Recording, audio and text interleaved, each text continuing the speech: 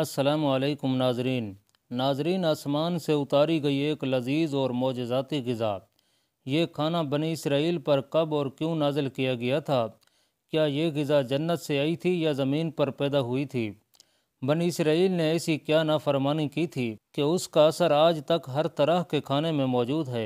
जब अल्लाह तबारक व ताली ने कौम बनी इसराइल को मिस्र से निकाला और उन्हें फ़िरौन से निजात दे दी तो बनी इसराइल ने हज़रत मूसा सलाम की रहनुमाई में बहर अहमर को पार किया और फ़िरौन अपने लश्कर समेत समंदर में गर्क हो गया।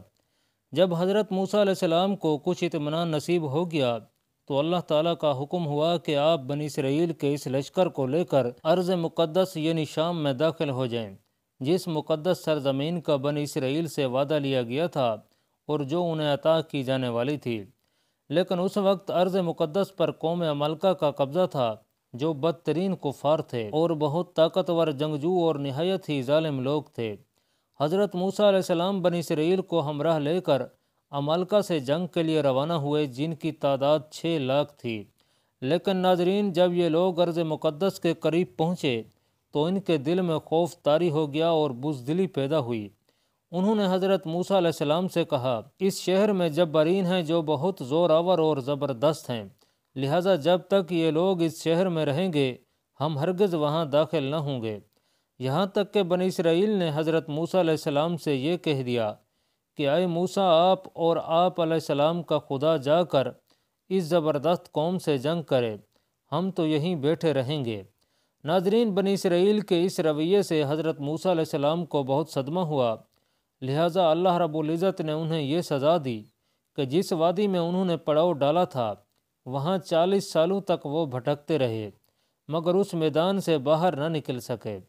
उस मैदान का नाम मैदान तिया था, जो सताईस मील के रकबे पर मुश्तमिल था। रिवायत है कि बन इसराइल के लोग सामान उठाकर सारा दिन चलने के बाद रात एक जगह पर पहुँचते और जब सुबह होती तो वहीं मौजूद होते, जहाँ से वो चले थे।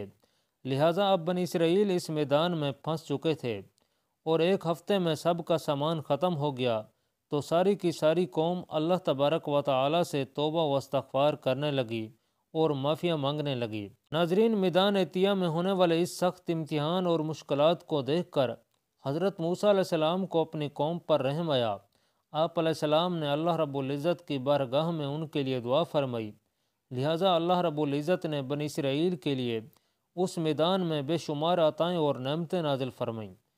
नाजरीन, जब बन इसराइल को प्यास की शिद्दत महसूस हुई तो हज़रत मूसा सलाम ने अल्लाह ताला के हुक्म से अपना आसा एक चट्टान पर मारा। तो उस चट्टान से बन इसराइल के बारह कबीलों के लिए बारह चश्मे जारी हो गए। चूँकि ये वादी वसी मैदान में फैली हुई थी, वहाँ सर छुपाने के लिए कोई जगह नहीं थी और दिन के वक्त सूरज की धूप और तपिश से बन इसराइल बदहाल हो जाते थे। लिहाजा धूप से बचाव के लिए एक बहुत बड़ा सफ़ेद बादल सारा दिन बन इसराइल के लोगों के लिए साया करता था। इसके अलावा रात में मैदान के बीचों बीच एक चमकदार सतून उतरता था, जिसकी रोशनी में वो लोग काम काज करते थे। इसके अलावा भी अल्लाह रब्ज़त ने उन पर बहुत सी इनायात और नमतें फरमाई थीं। उन्हीं नमतों में एक नमत मन सलवा था। दरअसल अल्लाह रबुल्ज़त ने उन लोगों के खाने के लिए आसमान से दो तरह की गज़ाएँ उतारी थीं। एक का नाम मन और दूसरी का नाम सलवा था। मन शहद जैसी मीठी गज़ा थी। इंजील की किताब खरूज में लिखा है कि जब वो शबनम सूख गई तो उन्होंने देखा कि मैदान में छोटी छोटी गोल चीज़ पड़ी है, जैसा कि पाले के दाने होते हैं। बन इसराइल उसे देख कर कहने लगे, मन, यानी ये क्या है? तब हज़रत मूसा सलाम ने उनसे फरमाया, ये वही गज़ा है जो अल्लाह रबुल्ज़त ने तुम्हें खाने को दी है और उसने तुमको पहले आजमाइश में डाला और तुझे भूखा रखा। और फिर वो मन जिसे तुम और तुम्हारे बाप दादा भी न जानते थे, तुझे खिलाया ताकि तुमको सिखाए कि इंसान सिर्फ़ रोटी पर ही ज़िंदा नहीं रहता। नाजरीन, मन दरअसल एक शबनमी गोल था जिसका जायका शहद जैसा था। ये गोल वहाँ के पेड़ पौधों के पत्तों पर जमा हो जाया करता था और बन इसराइल रोज़ इसे सुबह सवेरे जमा करके खा लेते थे, जो हर शख्स के लिए तकरीबन चार किलो उतरती थी। जो शख्स उस वक्त सोया रहता था, वो उस दिन की खुराक से महरूम रहता था। और सलवा एक किस्म का परिंदा था जिसे बटेर कहते हैं। जब शाम के वक्त जनूब की तरफ़ से हवाएँ चलती तो उन परिंदों के हजूम के हजूम बन इसराइल के खेमों के गिरद आकर बैठ जाते। लिहाजा वो लोग उन्हें बसानी पकड़ लेते और भून कर खाया करते। नाजरीन, मन सलवा ऐसा खाना था जो इंतहाई आसानी से हज़म हो जाता था। रंग, खुशबू और जायका में बेमिसाल था। इसके अलावा बन इसराइल पर अल्लाह रब्ज़त की तरफ़ से ये मौजा हुआ कि उनके बाल और नाखून बड़े नहीं होते थे, न कपड़े फटते और ना ही मेले होते। और जिन बच्चों की भी पैदाइश होती, उनके जिस्म पर कुदरती लिबास होता। जो जिस्म के साथ बड़ा होता जाता था। इस तरह इस वादी एतिया में बन इसराइल मन सलवा और इन चश्मों के सहारे एक बेहतरीन ज़िंदगी गुजार रहे थे। हज़रत मूसा सलाम का ये हुक्म था कि रोज़ाना तुम लोग मन सलवा को खा लिया करो और कल के लिए इसका हरगज़ ज़ख़ीरा न करना। मगर बाज़ लोगों को ये डर लगने लगा कि अगर किसी दिन मन सलवा न उतरा तो हम लोग इस चटियल मैदान में भूखे मर जाएँगे। चुनाचे उन लोगों ने मन सलवा में से कुछ छुपा कर कल के लिए रख लिया। लिहाजा नबी की नाफरमानी करने पर ऐसी नहूसत फैल गई कि जो कुछ लोगों ने कल के लिए जमा किया था, वो सब सड़ गया और आइंदा के लिए उसका उतरना भी बंद हो गया।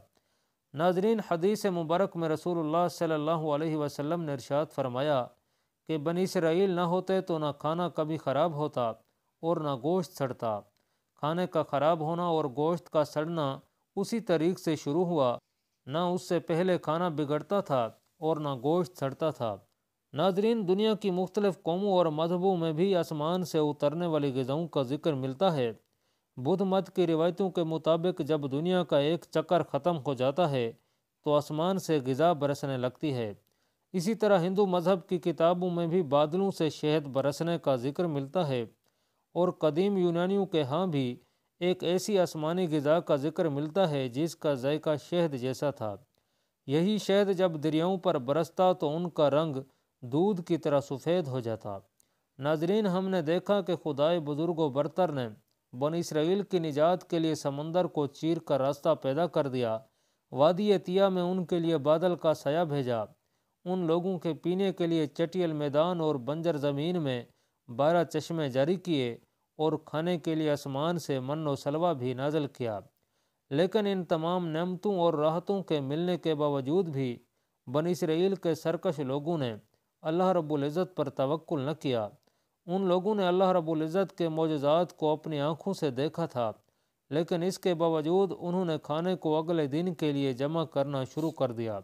बिल्कुल इसी तरह जब हम किसी मुसीबत और परेशानी में फंसे होते हैं तो हम ये याद नहीं रख पाते कि अल्लाह रब्ज़त ने इससे पहले हमारे लिए क्या किया और हमें कितनी नमतें अता की थीं।